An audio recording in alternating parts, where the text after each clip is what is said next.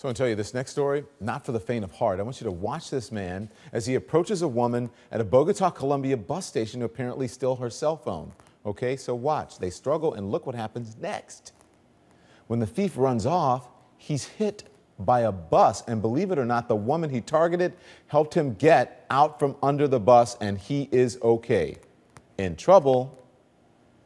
Wow, but he is okay.